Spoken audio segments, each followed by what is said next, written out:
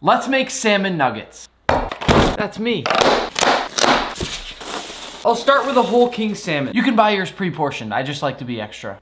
I'll start by slicing around the head, then slice down the spine, then separate the fillet, flip, and repeat. Now slice into cubes. We'll cover our salmon in soy sauce, then set it aside to brine.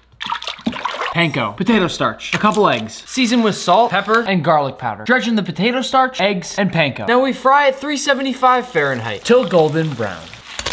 Tell me you don't want this nugget in your mouth right now. Listen, this is my new favorite thing ever. Unreal. Bye bye chicken nuggets. Chicken nuggets are so last year.